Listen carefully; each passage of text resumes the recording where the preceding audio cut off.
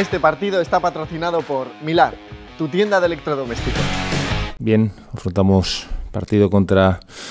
contra Juventud, un equipo que está jugando un muy buen baloncesto, que creo que además están en un momento de, de forma y de confianza muy,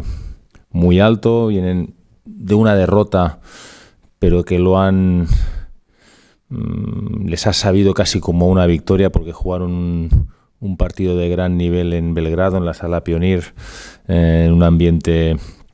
muy duro y dominando todo el partido y yo creo que, que merecieron seguramente ganar. Un equipo compuesto de jugadores eh, eh, con una mezcla muy interesante, como acostumbra hacer siempre la Peña, pero de jugadores veteranos mm, con muchísima experiencia, con muchísimos partidos al máximo, máximo nivel. Eh, y algunos jóvenes eh, salidos ahora de la cantera, pues que, pues que aportan como siempre hacen eh, esos jugadores a- al primer equipo de la Peña.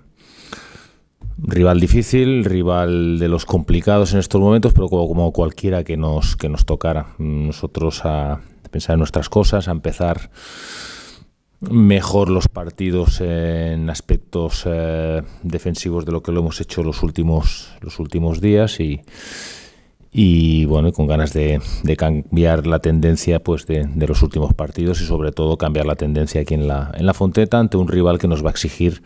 seguramente mm, pues casi más que ninguno de los rivales que han, que han pasado por aquí por la Fonteta. Nah, porcentaje no lo sé. Está claro que, que esas cosas afectan, ¿no? Si no el trabajo le daríamos poco, poco valor, pero no es que afecten ahora, habrán, afectan desde el inicio. Nosotros nuestro día a día está siendo el mismo eh, durante desde la primera semana, con lo cual nuestro día a día está siendo el mismo estos dos, estos dos meses, dos meses y pico que, que llevamos, con lo cual no, no ha cambiado nada. El equipo trabaja bien, el equipo